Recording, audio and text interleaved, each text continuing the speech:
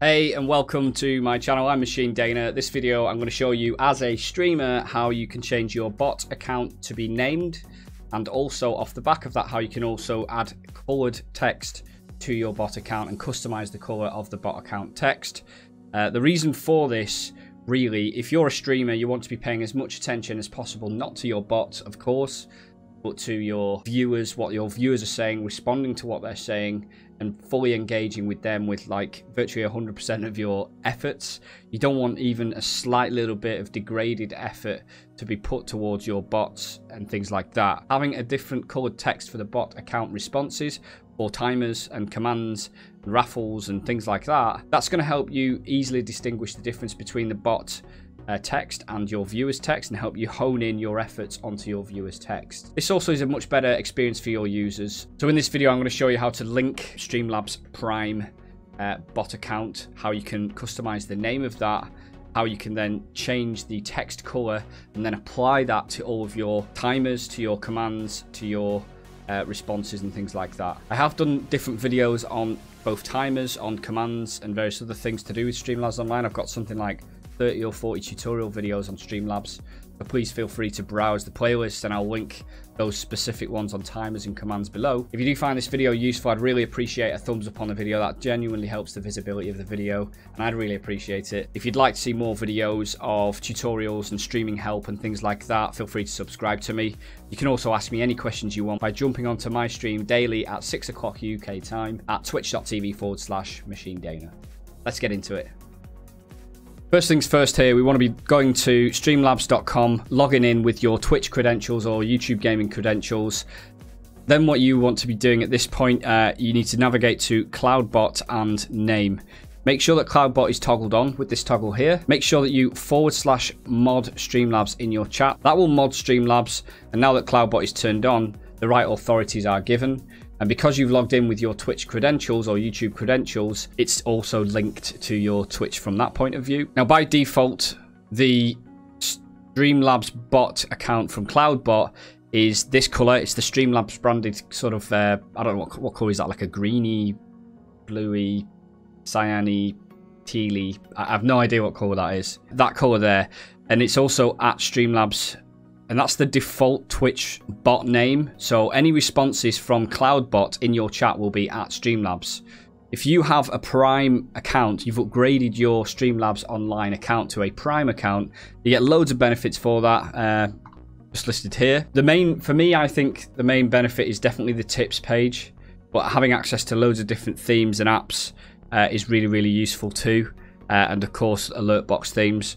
Uh, but naming your bot is also quite a big benefit as well. So first you want to be creating another Twitch account or a YouTube account if it's YouTube, a second second bot account. You are allowed to do this if it's for the purpose, a functional purpose, like having a named bot on Twitch, as long as you're not using that second bot account to falsify numbers or spam or whatever else. If you do upgrade your Streamlabs Online to a Prime account, a Streamlabs Prime account, it will save you money if you use my affiliate code, which I've linked in the description. I think it's like 10 or $20, completely free of charge. All you have to do is literally click the link when you make the purchase. Uh, it also helps me too. You've got the option to go through the, the rigmarole of actually creating an account, but if you've already got a second account that you can use here, where you already like the username of that account, you can just simply click here to add it. Now, by default, it will try and add whoever you're logged in as. I'm currently logged in as my main account. So obviously I don't want my main account to be my bot account because I want my chat to see when I'm talking versus when a bot is talking. It's also not advisable for a few other technical reasons as well. Streamlabs don't advise it and I don't think Twitch advise it either. So I'm, I don't want to authorize myself to be the bot account here. What I want to do is log out here, log in with my bot credentials. You'll then be asked for a, a Twitch authorization key if you are using two-factor authentication, which I strongly would advise doing. Now, at this point, instead of me, uh, it's my bot account that it's asking to authorize. I'm going to go ahead and authorize there within Streamlabs. It removes the tab to close it, and then it will, it should, after a few seconds, and you'll see it confirmed in the right-hand corner here, which is linked to that as my account. So now that we've got a customized account name, for the bot on CloudBot from, from Streamlabs online. What we now want to do is actually go and customize the color of the text for the bot. Now to do this, By default now I will have been logged out here of, of Twitch. So I'll just, well now I'm logged in as my bot account instead because I've just logged in using the credentials there. Just go onto any channel, click onto chat. And once you're in the chat panel here on the right hand side, you can click this cog here.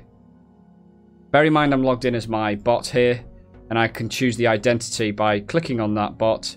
I can see that the bot is already modded because I forward slash modded it in my Machine Daena chat. So in this channel, Girth Machine is a mod. What you've then got the option to be able to do is click on the identity. You can click on more colours here. Now, I think by default, unless you're an actual streamer, you are a viewer, and this is a Twitch Turbo function to be able to customize the hex value of your colour. And for that reason, when I click this, it will take me to the billing screen.